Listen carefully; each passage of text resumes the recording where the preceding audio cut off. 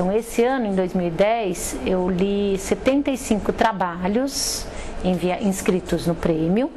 E desses, desses 75 trabalhos, 56% dos professores tinham pós-graduação, o que me pareceu um indicador muito interessante, porque indica a profissionalização desses professores que dão aula de primeiro ou quinto ano. Então, mesmo dando aula de primeiro ou quinto ano, se vê uma tendência a buscar cursos de formação, a buscar uma especialização maior.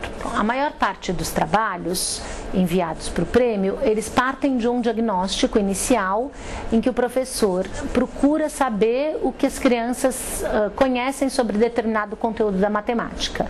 Isso é um grande indicador e uma grande mudança, porque antes é, a justificativa vinha em torno de uma, que a matemática era uma disciplina difícil, que as crianças tinham muita dificuldade, e hoje elas partem de, uma, de, de quais as questões reais e necessárias para as crianças, então de dados muito mais objetivos. É, a maior dificuldade dos professores é articular as etapas de trabalho é, decorrentes desse diagnóstico. Então, eu, depois que se observou determinada questão, como trabalhar essa questão em sala de aula. Então, isso não é uma, uma tarefa muito simples e muitas vezes o projeto se desvia um pouco do conteúdo no encaminhamento das atividades. Alguns dos trabalhos enviados, eles eh, giravam em torno de um tema. Então, 14% deles em, em torno dos jogos e 17% em torno de situações de compra e venda, então desde mercadinho, como criação de dinheiro e tal.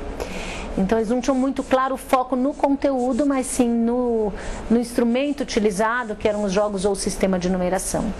Esse tipo de trabalho se perde um pouco em relação às aprendizagens matemáticas esperadas das crianças, porque eles dão mais importância para o tema do que para o conteúdo propriamente dito. Quais as dicas que eu daria para um professor que quer inscrever seu trabalho no Prêmio Educador Nota 10 2011?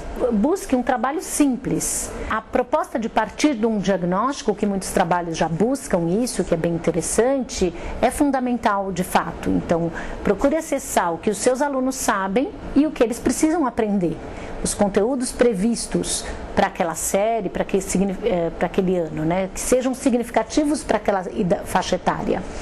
Ah, a partir desse acesso dos conhecimentos das crianças, eh, procure desenvolver as etapas olhando para o que uh, os pequenos avanços das crianças e vá registrando isso. Muitas vezes os professores escrevem planos de intenção, então eles descrevem como o que, vai, o que será feito e não o que ele fez conta como se fosse uma historinha, o que aconteceu na sua sala de aula em particular, o que você fez, o que você propôs, o que as crianças responderam. Por fim, uh, coloque a avaliação dos seus alunos. Então, o que eles puderam aprender com esse trabalho realizado?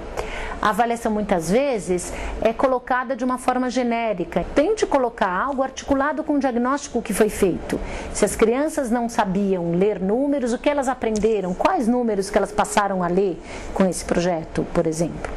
Então, articular o que vocês, a avaliação com o que foi observado no, no diagnóstico, com o que foi identificado como necessidade de aprendizagem é fundamental.